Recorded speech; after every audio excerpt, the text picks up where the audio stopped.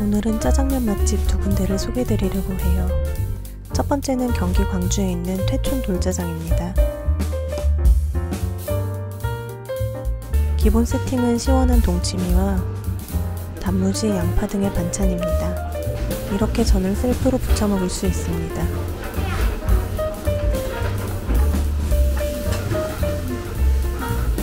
대망의 돌짜장입니다. 둘이 왔기에 큰 중짜 하나를 시켰어요.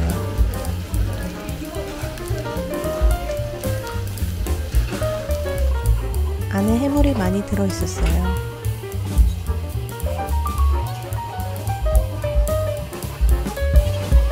남편은 해물 볶음 짜장 같다는 평을 내렸고 저도 담백한 삼선 짜장의 맛이라고 느꼈습니다. 생각보다 자극적이지는 않았고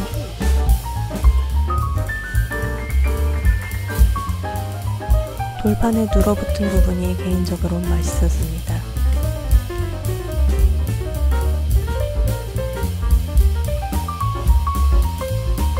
다음은 전북 군산의 진성원입니다.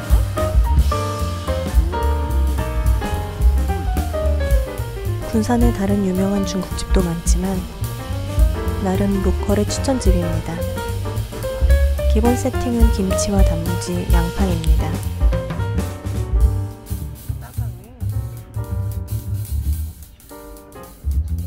간짜장이라 이렇게 따로 나왔어요.